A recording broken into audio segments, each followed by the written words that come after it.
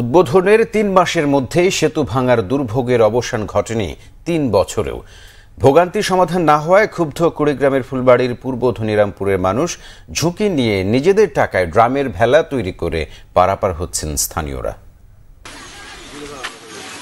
কুড়িগ্রামের বড়ভিটা ইউনিয়নের পূর্ব ধনিরামপুর গ্রামের ভেতর দিয়ে বয়ে গেছে আবাস মনগামী খাল। এলাকাবাসীর দীর্ঘদিনের দাবি আর প্রতীক্ষার পর দুই হাজার সতেরো আঠারো অর্থ বছরে এর ওপর নির্মাণ করা হয় চল্লিশ ফুট দৈর্ঘ্যের একটি সেতু। কিন্তু উদ্বোধনের তিন মাসের মধ্যেই ভেঙে যায় সেতুটি। বন্যার পানির তোড়ে সেতুর সংযোগ সড়কও বিচ্ছিন্ন হয়। দুর্ভোগ লাঘব হয় না স্থানীয়দের। নিম্নমানের উপকরণ ব্যবহারের পাশাপাশি দায়সারাভাবে কাজ করা হয়েছে বলে অভিযোগ ভুক্তভোগীদের। বিশটা গ্রামের লোক এটাতে যাওয়া আসা করে। সব সময় যাওয়া আসা নিতে আসবে নিতে যাওয়া নিতে সব সময় আছে। এইখানে কষ্ট খুব কষ্ট হয়। তিন মাসও গেল না।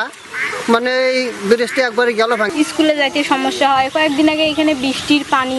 আমাকে অনেক দূর ঘুরে ঘুরে যাইতে হয়েছে কারণ সকালে প্রাইভেট যাই আবার আসি স্কুল যাই। স্কুল থেকে আসি আবার প্রাইভেট যাই।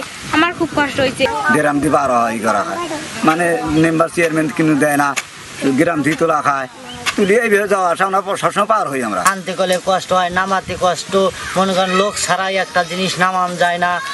বন্যার কারণে ব্রিজটি ভেঙে গেছে বলে দাবি প্রকল্প বাস্তবায়নকারী কর্মকর্তার। জানান, সেতুটি নতুন করে নির্মাণে প্রস্তাব পাঠানো হয়েছে।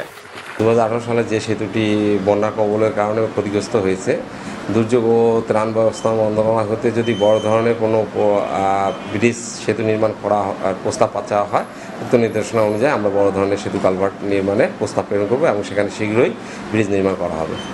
সেতু ভাঙার বিষয়টি তদন্তে কমিটি করা হলেও তা আলোর মুখ দেখেনি। জনদুর্ভোগ লাঘবে, টেকসই নতুন সেতু চায় পূর্ব ও পশ্চিম ধনিরামপুর গ্রামের মানুষ। Bangla vision news